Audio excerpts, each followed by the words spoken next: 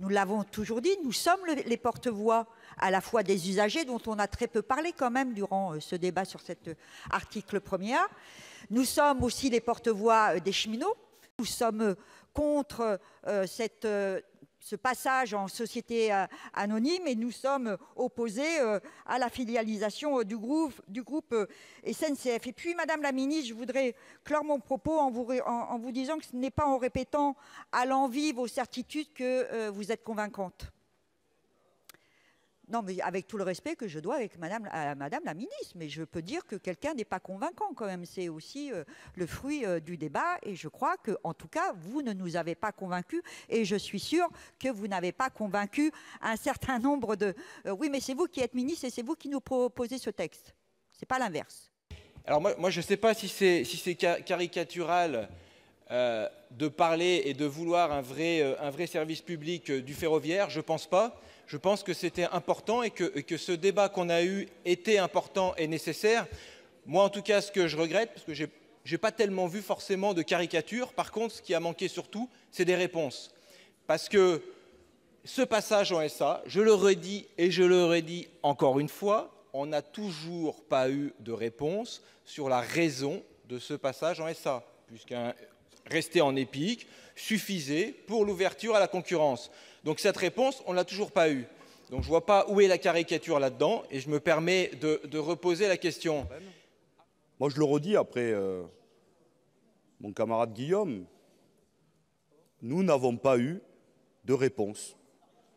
Et donc, et donc, je me dis que ce changement de statut entre les trois épiques en société anonyme, s'il n'y a pas une vraie raison, c'est que c'est purement idéologique et dogmatique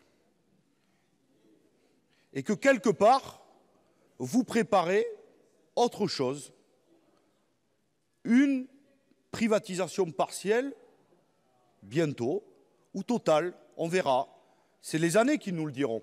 Euh, vous contestez notre légitimité, soit, entendu. Euh, je, si, euh, qu'importe, c'est pas grave. Les salariés de la SNCF se sont exprimés. Vous, contestez aussi les modes de leur consultation, voilà. Mais d'autres salariés se sont exprimés sur vos projets. Je pense notamment aux salariés, d'Air France. Qu'est-ce qu'ils vous ont dit, les salariés d'Air France? La même chose, la même chose. Et je trouve que c'est une, et je trouve que c'est une très bonne méthode quand on touche à une entreprise aussi importante que de consulter les salariés préalablement. Je pense que ça enrichirait notre, notre débat. Alors, laissez-moi finir, Monsieur Patria. Madame la ministre, je vous fais une proposition vous envisagez bientôt la privatisation d'ADP. Consultez les salariés d'ADP, demandez-leur leur avis, faites un référendum à l'intérieur de l'entreprise et ensuite nous rediscuterons ici de, leur position. Je trouve, voilà, je vous fais une proposition de méthode pour accroître la démocratie dans les entreprises. À chaque fois que vous modifiez une entreprise, vous faites un référendum, ce qui permettra de les éclairer. Et comme vous avez une, force de persuasion énorme sur les salariés et sur nous, je ne doute pas que le résultat sera positif.